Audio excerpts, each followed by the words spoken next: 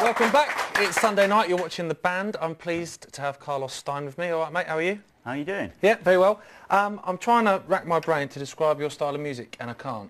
Um, well, yeah, it normally gets uh, thrown in the, the alternative bucket um, because, um, well, basically, if, if I set myself a genre, then um, that means that the record companies will think, oh, yeah, he does this style, and then and then all my other styles will be ignored. So, you don't want to get pigeonholed? Is that the I don't reason wanna- for I don't want it? to be a pigeonhole, no. No, because you use your loop pedals, and I've had a go on that, and I'm used to saying I can't do it. Have you had a go? No, but it looked brilliant. It, it- yeah, but if you get it wrong, it's a horror show.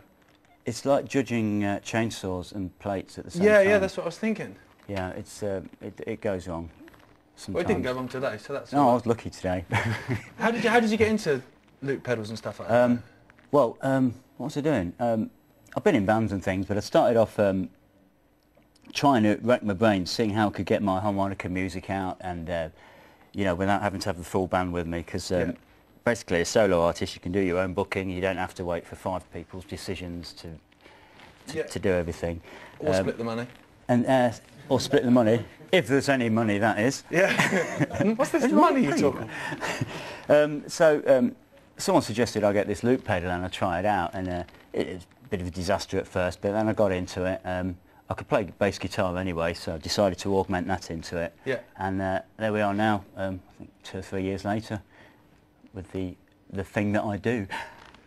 You, I mean, this wasn't in my list question, but you brought your record with you. Yeah this is my current EP called The Lab Sessions.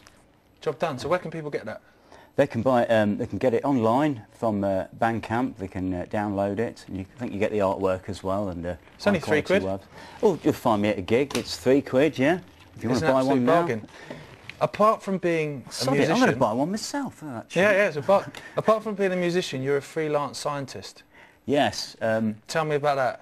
that's kind of um, that's kind of in the genes, really. I mean, all, Yeah. all there's a lot of Steins, a lot of bioscientists out there who are Steins and uh, robotics engineers, and uh, I think it's just, it's in the blood anyway.